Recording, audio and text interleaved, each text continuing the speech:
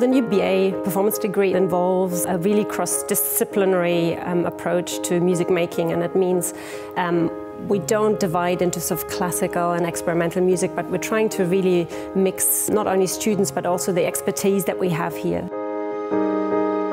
Performers, as well as having the opportunity to perform in a wide variety of ensembles and do solo performance, they also have the opportunity to work with audio production students and in a variety of settings, including in the studio, and then taking that work and putting it onto the stage and performing it live.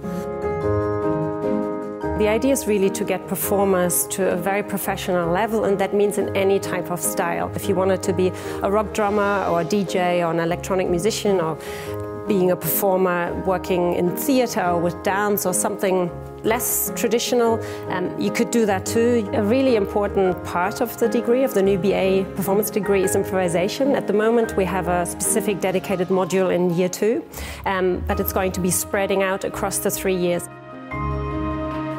My main involvement is in teaching improvisation, making things up on the fly, knowing what to do confidently in the moment as you do it is a core skill. I mean, it's a core musical skill, but it's a core skill outside music as well. We've recently employed um, two industry professionals, which is Duke Special and also the Hard Rain Soloist Ensemble. And we also have really strong links with other external players, for example, the Ulster Orchestra, um, the BBC, and use all the expertise that we have around Northern Ireland. What I find really exciting about the, the BA and music performance is the journey that we go on um, from staff and students in exploring what it means when you walk on stage, what are some of the things that are important.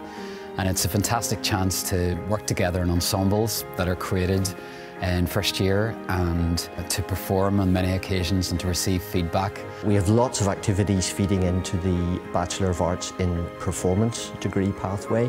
Uh, we're taking performance workshops, we're mentoring students, we're helping with performance anxiety, stage presence, we're involved in recitals and concerts, we're giving students opportunities as to how professional music bodies work. It just generally enriches the student experience, I think.